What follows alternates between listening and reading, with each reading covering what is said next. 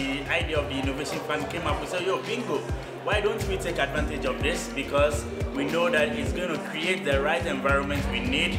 The great thing about this project is that we can test things and we can even fail, and we're encouraged to fail. Normally, I'm not allowed to fail. This year, uh, GIZ for the first time joined an innovation fund which uh, gives uh, GIZ staff, development workers and integrated experts the opportunity and the space uh, to develop uh, further rough ideas that, that they've had.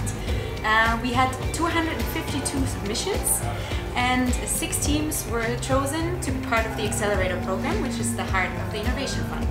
The six teams are entering a program, so-called Accelerator program, which compresses years of experience into six months.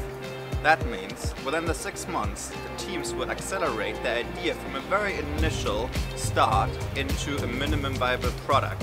So IT or digital solution that can actually be used to a certain extent.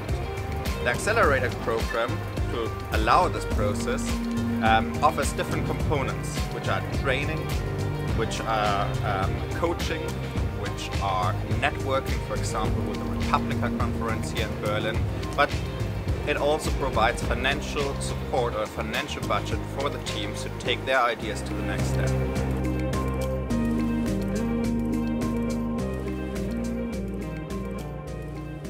Teams arrived here with these first ideas they had in mind. So we want to ignite citizen engagement in Africa, in South Africa especially. We want to make sure that people uh, give feedback via an app on public service delivery problems that they face on a daily basis. Uh, our idea provides practical tools to help businesses to prevent corruption and also help them to detect corruption. It was so interesting to see the process that they went through together with the support from the coaches and that they really had to rethink and re-analyze um, um, what they were actually looking for. The, the challenge that my team currently has is breaking down a very complex problem to something very concrete. So getting a complexity and making it concrete. That's a challenge. And I would also say a lot of the ideas that the teams are focusing on um, have one very critical assumption, and if that doesn't work, then it's a make or break. So it's now about having the teams to really dig deeper and get a bigger understanding of what the actual problem is. So they went outside, they talked to people, they talked to people on the street, and that helped them to redefine the problem, to narrow down their target groups, and um, yeah, and they did very well.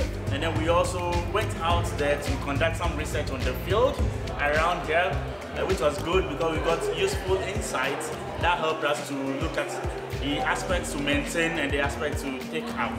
We've done a couple of changes in the original idea so that we can have at the end a product that is suitable for the user. They even came up with the first uh, prototypes and now I'm so excited to experience the coming month together with them.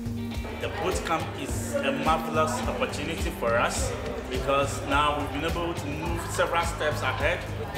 It wouldn't have been realized without the support of the Innovation Fund because um, we wouldn't be in the right space to uh, develop such an idea. So um, yeah, of course we would like to see like um, six um, amazing and scalable ideas at the end of the year, but uh, what is also important for us is the contribution we make to the innovation culture within GIZ. What does that mean? That means trying out new methods, design methods, that means partners, and but most importantly that means um, like failing early and starting afresh.